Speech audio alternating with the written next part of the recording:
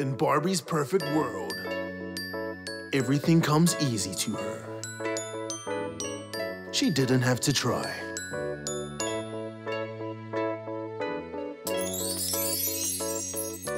She was the perfect Teine Samoa. Lele tele oi teine. My perfect teine samo. Everything came natural to her. Eh. Oma, oma. Thank you, dear. Even cleaning. Oh, yeah.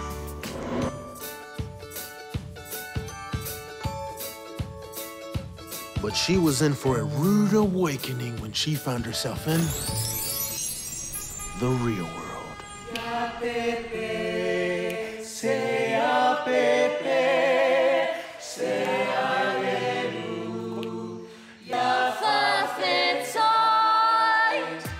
Will she adjust to the real world?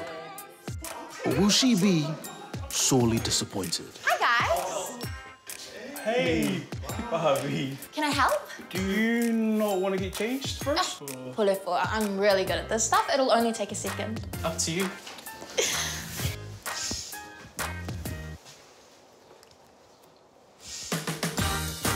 From the makers of Crazy Rich Samoans.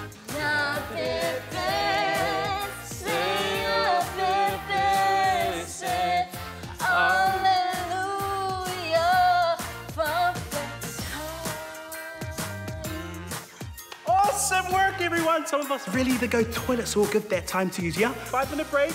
You can drive away. Do you guys want to go grab something too?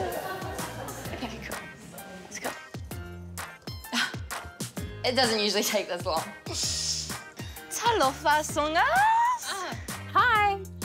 Why are you dressed like someone Barbie? Oh, I'm not plastic anymore. Don't worry. I'm a real Samoan Barbie. What? In a world where stereotypes and stigma persist, the harmful plastic Samoan label suggests a superficial caricature and distorted representation of our Samoan culture, dismissing the authenticity of one's identity. and reinforces harmful beauty standards that are detrimental to the well-being of our young Samoan girls. Mm. Yeah, Yolandi. Okay.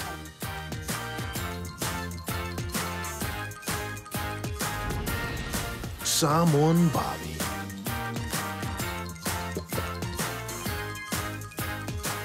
Coming December 20 Never.